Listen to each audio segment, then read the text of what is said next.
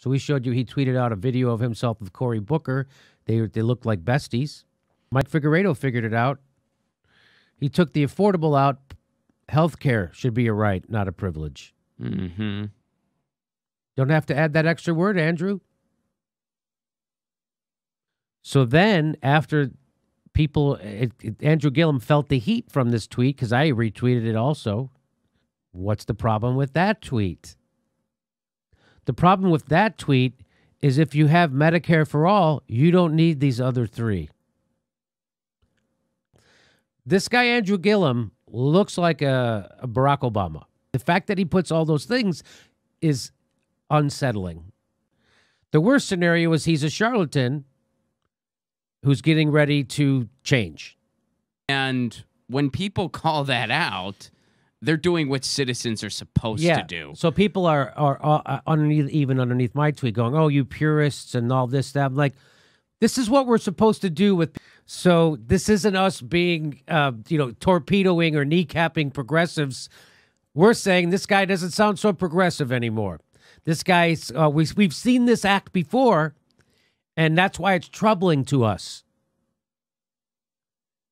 By the way, he endorsed Hillary Clinton in the 2016 primary, just so you know, not Bernie. Did you know that? Yes, I did know that about Yeah. him. Andrew Gillum, although he didn't take corporate money, looks like he wants to.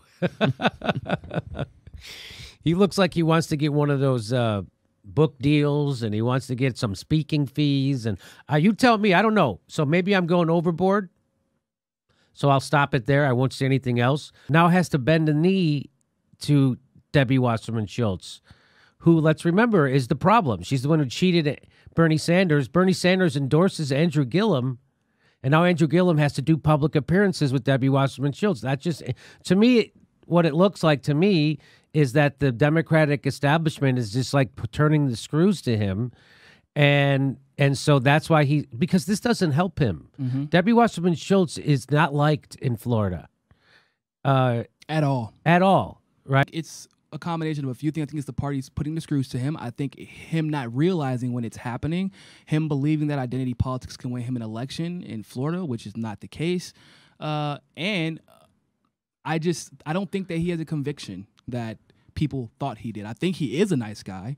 I think that he may have had good intentions, but at the end of the day, to for me personally to have to vote for him, it would have to essentially be admitting that he's the one candidate in the history of politics who has taken corporate money and not been influenced by that money. For me to believe that he is going to do well for the environment, it would mean me believing that him aligning with Debbie Wasserman Schultz, who is known as the sugar queen in Florida, is not going to affect the outcome of you know what I'm saying. Like it, So he, it he would takes he takes the money from those people. I, I thought he did. yeah, he took like seven hundred thousand in dark money from a super PAC that was created when he started running. And they're on their website, and I wish I could remember what the name of the super PAC was. But when I I have some pretty sad news. The Hill says that Hillary Clinton plans to campaign with Gillum in Florida. Here's the last thing you should do if you're Andrew Gillum campaign with Hillary Clinton. I don't know if you know this, buddy. Hillary Clinton lost Florida. She lost Florida to Donald Trump.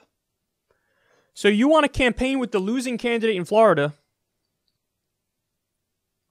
and you want to campaign against a person who's modeling himself after the person that beat the person you're going to campaign with.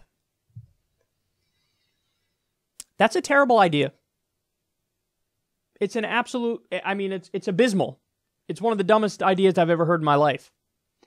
Now, on top of it being a bad idea politically, so just from a, a the optics perspective and the marketing perspective, on top of that, now uh, what you're doing is you're letting down your progressive base who were going to make up the bulk of your supporters. In fact, I've I've gotten tweets from people already that say I'm not I'm not going to vote for him now.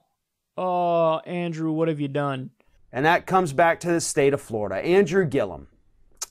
Gillum campaigned uh, with Hillary Clinton.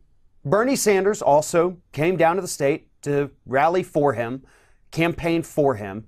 Kamala Harris, uh, Joe Biden at one point was here. Basically, all the people who you think might run for president in 2020, uh, they all came down here to Florida to campaign for Andrew Gillum.